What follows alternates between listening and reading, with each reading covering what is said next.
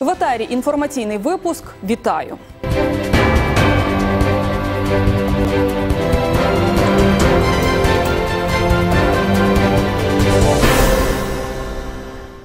Ліквідація старих районів внесла зміни і до структури поліції. В обласному управлінні проінформували, як діятимуть нові територіальні підрозділи. Найбільш чисельним буде Хмельницьке районне управління 952 людини. У двох інших працюватиме трохи більше як чотири сотні поліціянтів. Які ще зміни очікують правоохоронні органи? Дивіться.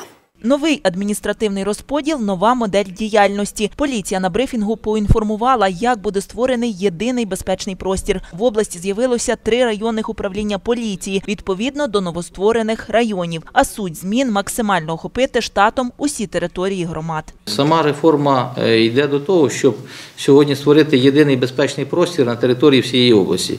Сьогодні можливість сконцентрувати оперативні підрозділи, слідчі підрозділи в управліннях і відділах, тобто в шести підрозділах, дає нам можливість краще опрацьовувати ту оперативну ситуацію, яка є на території обслуговування. Частину колишніх будівель райуправлінь задіють структуровані служби. Зокрема, ювенальна превенція та підрозділи поліцейських офіцерів громади входять у підпорядкування апарату управління. Проте нестимуть службу у Красилові. Так само працюватимуть підрозділи дізнання. Підрозділи дізнання, там 4-5 чоловік, в залежності від кількості, теж вони в структурі управління, але дислокація в місті Красилові. Для чого зроблено так? Для того, щоб забезпечити швидкість реагування. Розповіли на брифінгу і про статистику правопорушень за минулий рік. Поліціянти кажуть, в середньому на лінію 102 за добу надходить понад 700 викликів. На реагування на звернення у працівників управління йде в середньому 15 хвилин. Із загальної кількості зареєстрованих заяв та повідомлень майже половину. Це 44% розглянуто працівниками групи реагування патрульної поліції. Четверту частину це 23%. Це управління патрульної поліції. А реєстрація повідомлення займає в середньому 1 хвилину 8 секунд. Відзначили поліцейські і позитив для себе. Кількість скарг на неналежне реагування зменшилась. Це пояснюють покращенням довіри до поліції. На вулиці Хмельницького повертаються наряди, які патрулюватимуть місто у вечірній час. Як повідомив виданню є заступник начальника Хмельницького РУП з превентивної діяльності Дмитро Заславський, востаннє повноцінне патрулювання проводили ще до розформування батальйону патрульно-постової служби у 2014 році. Попередньо патрулювання відбуватиметься щоп'ятниці. Слідкуватимуть за порядком правоохоронці у центральній частині міста, південно-західному районі та мікрорайоні Заріччя.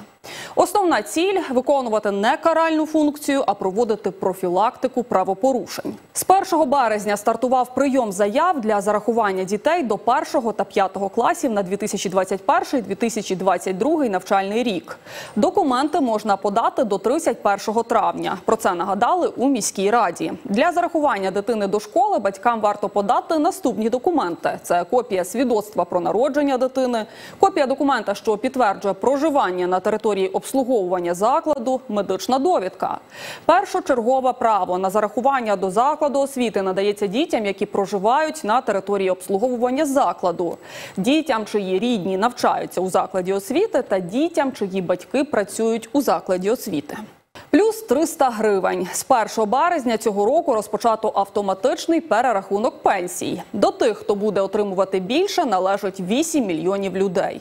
Якщо після перерахунку розмір пенсії зростає, то таке підвищення не може бути меншим за 100 гривень. Чи зраділи такій перспективі хмельницькі пенсіонери та на які суми вони розраховують? Далі у сюжеті.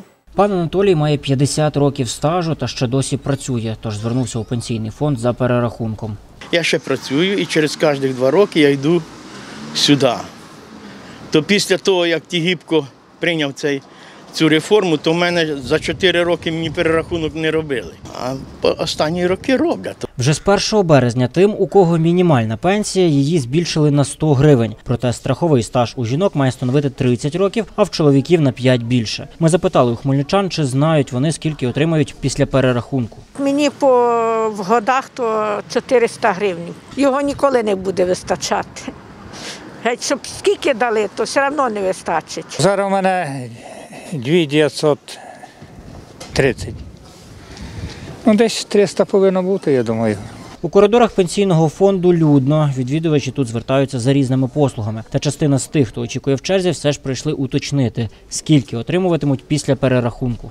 В январі трошки додали, то що мені вже 65 років і стаж є. То мені 300 з чимось додали. То в мене зараз 2 494. 3300 зараз. Не вистачає. У мене чоловік тільки помер, або 9 днів як помер, то не знаю на одній пенсії, як бути, не знаю. І заплатити за газ за світ, газ такий дорогий. Порядок проведення індексації у пенсійному фонді здійснюють на коефіцієнт збільшення середньої зарплати, кажуть спеціалісти. При перерахунку пенсії дійсно застосовано коефіцієнт збільшення показника е, середньої заробітної плати. Це 1,11, тобто, як було сказано, 11%. І з 1.03.2020 року він становить 5426 гривень.